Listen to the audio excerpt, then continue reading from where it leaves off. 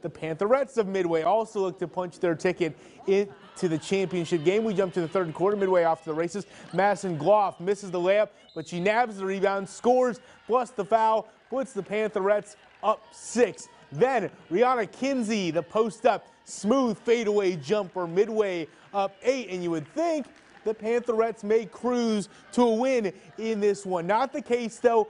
Back come the Buffaloes. Fourth quarter, Addie Cook throws it up and wins the game of blocking foul or charge. It's a blocking foul, allowing her to cut the midway lead to two. But the Pantherettes respond. Nice ball movement. It's Kinsey, the and one. That would really be the dagger in this one as the Pantherettes hang on to win 57 to 56.